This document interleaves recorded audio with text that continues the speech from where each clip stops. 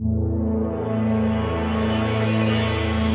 did want to ask just a specific question about the ending because you, you mentioned um, how scared you or not how worried you were about doing it. I'm wondering what what finally put you over the edge to be like, okay, I'm going to end by, and again, we will cut this out. Yeah, I'm going to end the show by killing MODOK's family, and that, that was just sort of, you know, it's a hard left turn, and the season ends. I'm wondering what what the moment was where you're like, you know what, yes, this is the ending we're going with.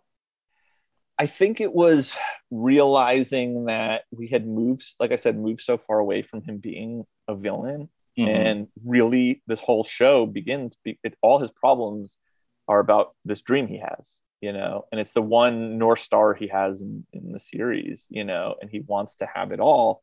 And I think it's about the show really is about a guy looking at his past, you know, and, and being, because he's literally fighting his past. And, uh, and realizing what he wants in his future, and then he's shown his future, mm-hmm. and it's it's his night it's a nightmare except for one situation, and it's this idea that MODOK again his his ego is his own worst enemy, so he believes he can have it all and he'll figure it out, and he makes that sacrifice that I don't think a lot of people would make, but that makes him unique. You know, he is a super villain, and um, you know, it felt like the scary thing, but the right thing for the character. You know, why this is a show about MODOK and not a show about Iron Man or someone else. You know, and um, and it it led to an interesting point where you know, uh, how do you reconcile that after you do that? And in a way, he does and does not make that decision because MODOK, who's now this version who lives outside of time and isn't really mm. MODOK anymore, is I'll do this for you, you know.